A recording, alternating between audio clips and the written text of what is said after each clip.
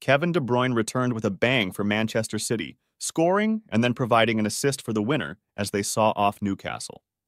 The champions have been without their Belgian playmaker for months, but he came off the bench and produced a match-winning cameo at St. James Park as Pep Guardiola's side cut the gap at the top to just two points.